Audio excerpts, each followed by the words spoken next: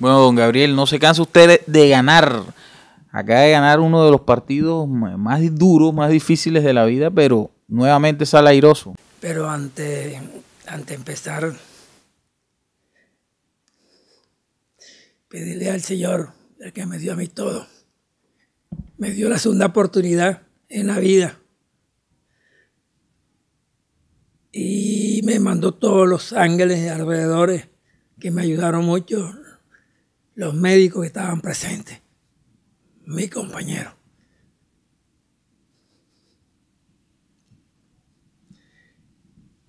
Eh, ¿Qué recuerda de, ese episodio? Eh, ¿O cuando se desmaya, se olvida de todo? ¿Cómo, cuáles son las imágenes que tiene? Eh, los momentos más difíciles, el que me dio la oportunidad de vivir otra vez, el Señor. Después a los 35 minutos del primer tiempo voy a debutar una pelota con, con el muchacho eh, Molina y de repente me dio el yello. Yo no sentí dolor absoluto. Pues totalmente me caí en el suelo yo tenía a mi nieto aquí en la tribuna viendo el partido, mi yerno que es médico, mi cuñado, mi familia, toda la familia mía estaba viendo el partido observando. Cuando ellos me vieron que yo caí en el suelo, el doctor, mi yerno, entró absolutamente y me dio auxilio con Fernando Florillo, que también Fernando estaba ahí. Fernando, Fernando se sorprendió cuando él me vio a mí el cuñado mío me mandó sacar la lengua, la saqué, me dio un par de cachetadas. Y lo mejor, lo mejor, la organización que hizo eh, Yurto de llevarla abundante a mí, lo mejor. A mí ese día estaba entrenando la camioneta, cuatro motos que vuelo lo excelente en cuanto a la rapidez de los aparatos que le pone uno en el pecho los fines de mes. Había todo un equipo, completo tal, sí, sí, sí. Eso vino del Señor, me mandó todo, me mandó todo. La gente, todo me mandó. Si no hubiese estado, hubiera estado todos esos implementos, estuviera en el otro hueco. Quizás hubiera estado en una cancha abierta, ¿no? En las que usted suele jugar los fines de semana hubiese sido más difícil. Sí, lo que pasa es que la familia mía es enético. En cuanto a la, la válvula, la coronaria, la mayoría de la familia me ha muerto, mis padres. Y yo, yo morí por tanto comer, sinceramente. Esa semana fue muy, muy complicada para mí porque comí mucho, me pasé de, de piña, como dice, comí de todo. Y por casualidad en el partido yo nunca almuerzo, me comí una mojarra que nunca en mi vida ante un partido me había comido una mojarra tan grande ese día, el 20 de diciembre. Y yo, antes, antes del partido, sí, yo me comí la mojarra a las 11 de la mañana y el partido era a las 4. Pero yo me sentía pesado y me fui a las 2 con los compañeros, vinieron por mí, me lo fuimos al estadio y a mí no me dio ni dolor, nada. Eso me pasó en el momento ya los médicos, el doctor Solano, Lozano, perdón, el doctor Gómez Rojano, me, dice, me dijo que que en cualquier momento iba a pasar en, en uno, dos, tres días. Gracias a Dios que no venía en la cancha de San José, ni la cancha no era nada, que yo juego también, y el 31 de diciembre en la cancha de, de Simón Bolívar, por allá, allá en Simón Bolívar. En cualquier momento me iba a pasar lo que me pasó. Ya estaba las, la arteria ya llenita y no cabía absolutamente nada. Gracias a Dios voy a vivir otra vida. Ya me hicieron unos chequeos. El doctor Alvarado. Ese día cuando el caos, la gente, la, la corredera de la gente, me imagino las voces de sus familiares y el coro de la afición que, que gritaba verdugo, verdugo. ¿Usted es- recuerda todo eso? Sí, sí, yo recuerdo, yo duré 10 minutos medio, medio desmayado. Por eso te digo yo que muerte súbita. Y al momento yo sentía que me agarraba y que me cogía, que, que el brazo, que, que los aparatos, yo sentí cuando me pusieron los aparatos como tres veces que no cogía respiración, oxígeno. Y de cualquier momento, buen momento que, momento preciso que me levantaron. Yo me levanté medio así, mareado, y sentí que me iban a llevar para la clínica. Yo, yo estoy bien, le decía a la gente, yo estoy bien. No, siéntate. Yo me paré.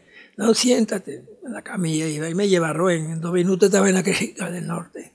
Usted, eh, no, ¿No le pasó como le han pasado a muchas personas que, que dicen que vieron una luz, que, que, que vieron a familiares? No, no sintió nada de eso. No, no, no, no, absolutamente nada. Yo me, cuando me recuperaron, iba en la camilla tranquilamente, con una fe tremenda que, no me había pasado nada, mentalmente, espiritual, pero, pero increíble. Cuando llegué a la clínica, ahí donde yo sentí que me iban a hacer algo, que la vaina era grave, cuando me atendió el doctor Solano, yo bueno, al doctor, y sentí, me hicieron el catatarismo, eh, excelente, que había salido bien, todo. Y yo tengo la suerte que yo no sufro de nada. Nunca me había pasado nada. Yo no soy hipertenso, no soy diabético, no fumo, los pulmones los tenía limpios. El colesterol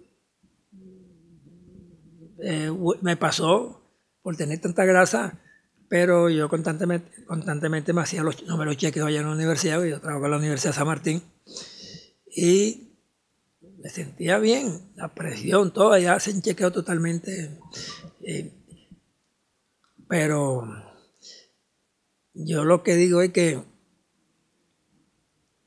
esto no se lo aconsejo a los amigos míos, yo voy a hablar con ellos voy a hablar con, si tengo la oportunidad de hablar con, con Alejandro Char, de los comités, comités de fútbol, que son cuatro victorias, dos de Granada, Ciudad Moriva, que tenemos que tener una emergencia ahí totalmente En las canchas. en la cancha. La estamos pidiendo a grito, porque la se han pasado y han quedado listos. no la- el muerto, hay muertos, en San José se han muerto tres, y Sevilla uno. ¿Por qué?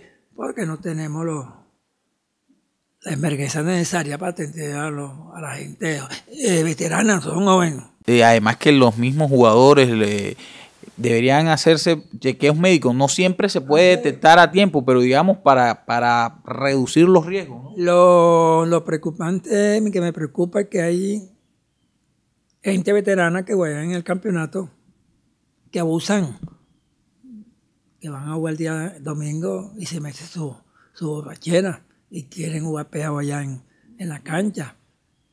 Y eso es perjudicial, sinceramente. Por eso es que yo a mis compañeros, no tomes si te toca jugar el día siguiente. Yo me acostumbré, cuando yo voy a jugar nunca tomo. Me tomaré dos traguitos, uno, pero normal. Para emborracharme y irme allá en Guayabao con ese sol que, que los partidos son a la una, 12 del día en adelante. Ese es duro. Uno, y fuera eso no entrena. Todo el día, toda la semana entreno un mes trabajando. Si entrenara, el caso mío, yo entrenaba. Entreno a los niños, entreno a los alumnos de la Universidad San Martín.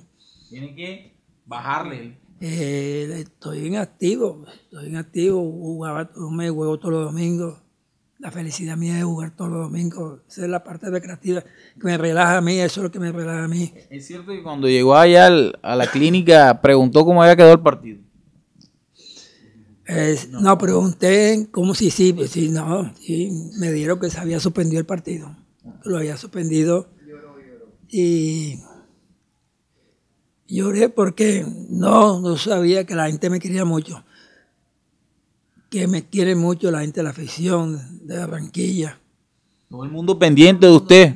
Fue de las noticias más leídas del Heraldo y la gente preguntando qué había pasado con usted. Mi compañero de aquí de Colombia, de afuera, en el interior, en Europa, muchas llamadas, muchas. Eso quiere decir que que soy una persona humilde. Comprendí, yo me di, me analicé, me hice la autoestima y la gente me quiere. Oiga, don Gabriel, pero va a volver a jugar, puede jugar, ya le dijeron. Sí, yo tengo eh, constantemente ahora la, recuperación es el éxito total de uno. Si yo me descuido, duro cinco años, tres años. Pero si yo manejo buen medicamento, buena terapia, buena vida sana. Y me mantengo con los ejercicios. Duró 15, no ha durado 15 años más que aspiro. Y amigo mío, tengo amigo mío. Ayer un señor allá en, haciendo la terapia me dice, te voy a invitar a un festival de, de frito. De huesera me dio a mí ah, de frito. Sí, sí, sí, ya llegaste el combo de nosotros, allá donde Isa. ¿Pero dónde, no ve la hora de volver a jugar? Sí, sí, ahora no, hasta que yo, yo, estoy mismo, yo mismo estoy sorprendido, hasta mi compañero que, que me recuperó muy rápido. Yo a los cinco, a los cinco días de la operación estaba caminando allá en la clínica, que el doctor Arisa se sorprendió cuando me vio. ¿Qué hace? bien, doctor, no se preocupe. Tenía los tubos metidos acá. Y se sorprendió y yo tranquilamente empecé a hacer los ejercicios. Me mandaron, hacer, me mandaron una doctora para hacer la pausa activa. Y me alegré cuando me la mandaron porque aquí me recupero rápido empecé a hacer ejercicio. Y ellos tienen un método de trabajo, el doctor Arisa, por ejemplo, me dijo, Gabriel, eh, levántate, porque tanto estás sentado ahí te, va a molestar. Y me puse una silla, una mecedora, y yo contento ahí, ahí, ahí duré, duré dos horas la mecedora y yo con ganas de estar para la cama y yo, yo no, me quiero. Y la, y la enfermera, la que estaba en los lados, me decía a mí, sí, ya voy.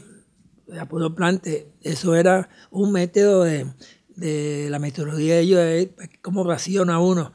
Yo aguanté dos horas sentado ahí en la mecedora cuando le dije, doctor, ¿hasta cuándo? No, no, no, no. Y aguantaste dos horas.